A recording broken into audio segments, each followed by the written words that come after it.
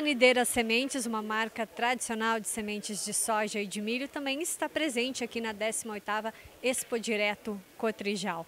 O que vocês estão trazendo, então, apresentando para o público nessa edição? Estamos trazendo algumas cultivares de soja, né, alguns lançamentos. E falando em soja, podemos falar da 5445, uma, uma cultivar que a gente tem com uma amplitude muito boa dentro do Rio Grande do Sul, para abertura de plantio, teto produtivo elevado. 6909 também, uma outra cultivar com um teto produtivo muito elevado, um produto com uma estabilidade muito boa, né, para plantios de novembro, para plantios de dezembro e também com um teto produtivo diferenciado.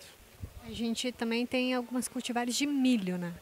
Sim, os híbridos de milho que a gente trabalha são híbridos com alto teto produtivo, são produtos que a gente cita o NS56 Pro, um produto rápido, um produto que entrega uma produtividade elevada, produto com uma qualidade de grão muito interessante, um grão avermelhado, né? e também o NS92 Pro, que é um produto com ciclo um pouquinho mais longo, um produto também com teto interessante, bem elevado e que também podemos trabalhar para silagem.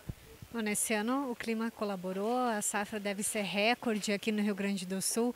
Como que vocês estão observando esse mercado? Exato. A, a Nideira participa desse mercado dentro do Rio Grande do Sul com muito boas cultivares, né? É, essas cultivares estão em função do, do, do, do, ambiente, do clima, está correndo tudo tranquilo, né? Estão com alto teto produtivo.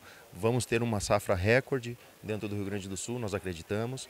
E estamos aí, estamos aí lançando alguns produtos novos, 66 é um produto novo de soja, né? 6535 um produto novo também, que nós trabalhamos no nosso licenciamento, então vamos participar com várias cultivares com alto teto produtivo.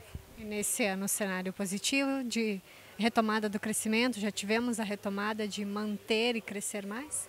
Sim, a Nideira está passando por uma reestruturação, estamos com um foco bastante direcionado, é, a diretoria também acredita no nosso crescimento uh, perante o mercado. Né? Estamos trabalhando muito forte o agricultor, tentando trazer produtividade para ele. Obrigada. Eu sou Elisa Malicheski, da 18ª Expo Direto Cotrijal para o portal AgroLink.